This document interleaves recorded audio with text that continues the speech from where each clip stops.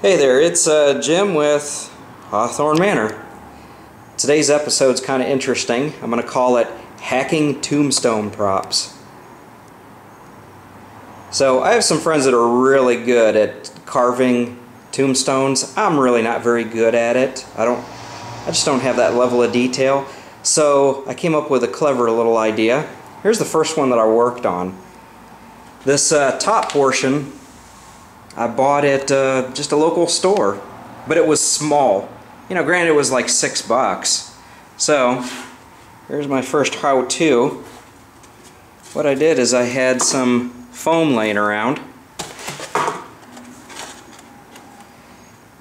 And you see here that I just kind of built up layer after layer of this leftover foam.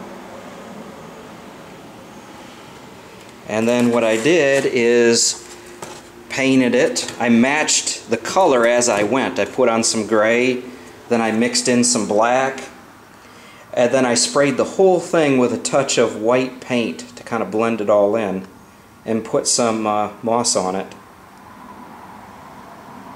So I know that you can buy some of these, the bases, but they could be like 30 bucks. So what I achieved here is it's about a foot taller and has a little bit more depth to it. You can see how thick that is. So here's the ones that I'm working on right now. The one on the left is what I started with. I had two of them.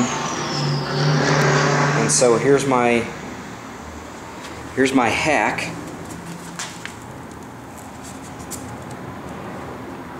I'm just going to build up layer after layer of this laying around foam.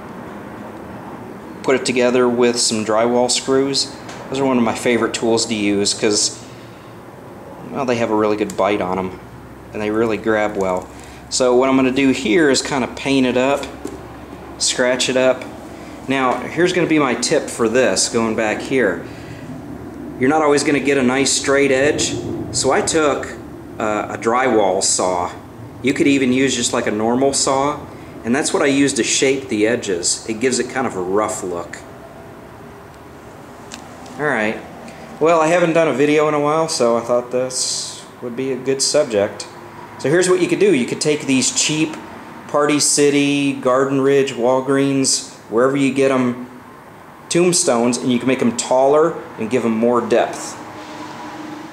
Alright, off to the next thing.